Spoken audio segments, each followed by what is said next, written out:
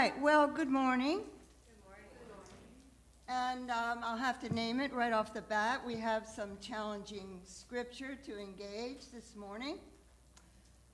On a day when the rest of the world is either playing golf or getting ready for football.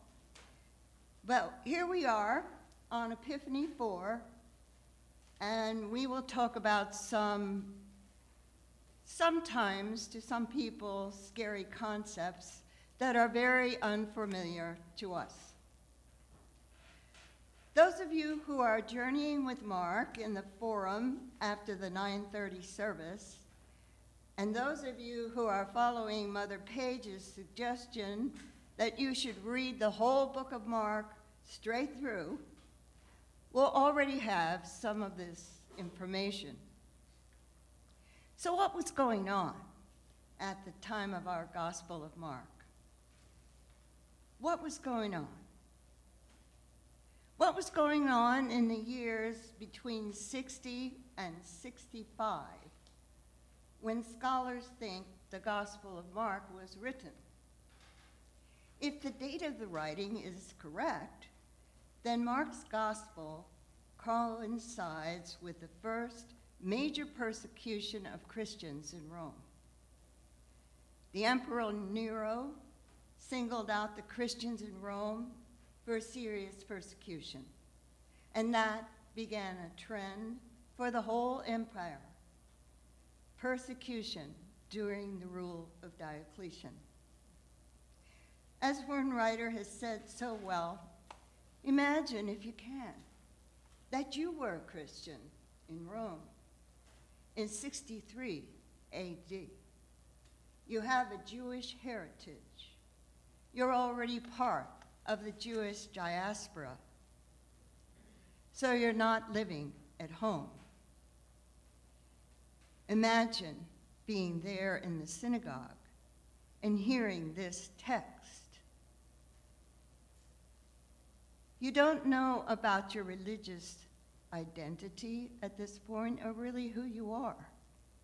You believe in Jesus, but yet you've come from a different background. Imagine being there in the synagogue and hearing this text that we have in our gospel. Two of your anxieties are squarely faced. The question of your religious identity and your fear of death for your beliefs. Many scholars claim that Jesus claimed his authority directly. And this was different.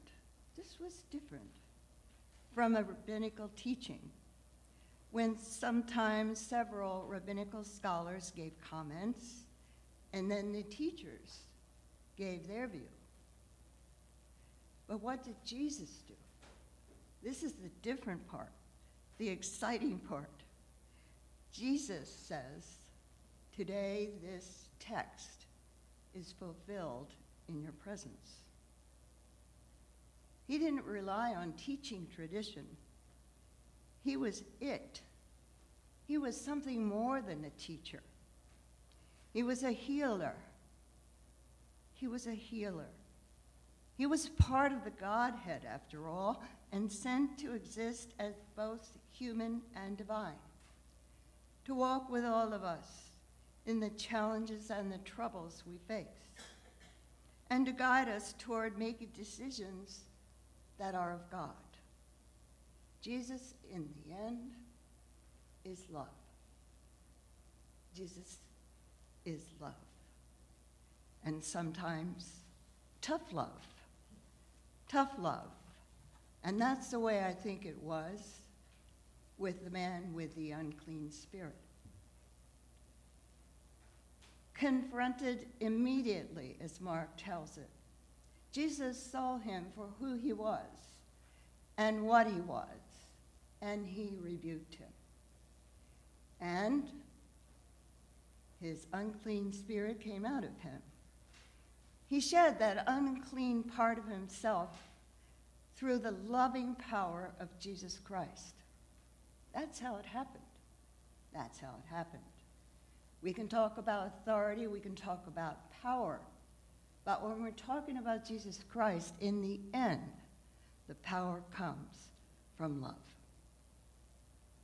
This is tough stuff. But should we need it, Jesus' loving power to heal whatever the problem or trouble we have is available to us. Might that look like in our private faith lives, in our own individual human story? I've heard conversations like, um, well, I have my own demons. Have you ever heard that? Have my own demons. I live with them. I try to do something about them. I made a little survey of some people in our own congregation. I'm not going to quote them by name. I asked them, you know, if you said I have a demon in my thought or something like that, what, what would that mean to you? And this is what they said You're not good enough. You shouldn't have done that.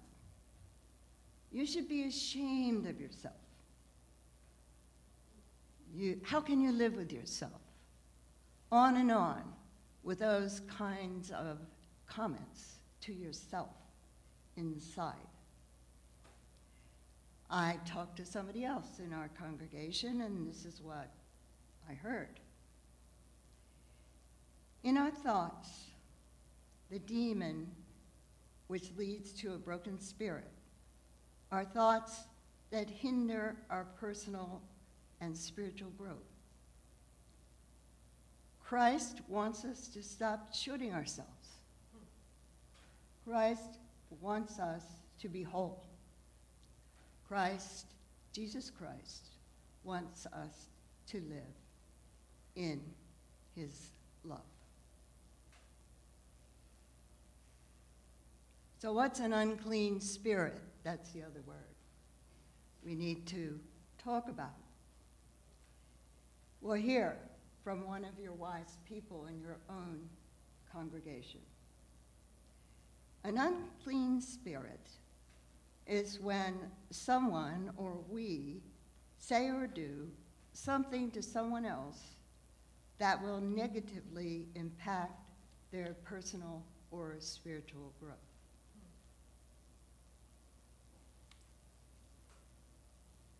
I want to uh, kind of expand the word to broken spirit because I know that a sort of a list of those actions, either received or given, can lead to a broken spirit.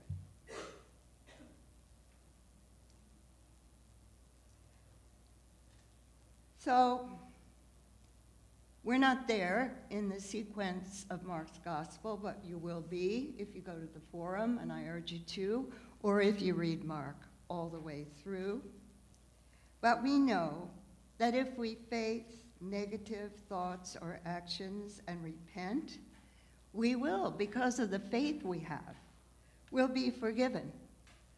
Will be forgiven because what we'll find out about Jesus later in the book and his most wonderful act of love on the cross. So, whatever and whenever we come to those troubled times when we know that we need to repent, that forgiveness will be there. It will be there. And we also know that Jesus, the loving person, will be with us always, always, always by our side keeping us wrapped in love. Amen.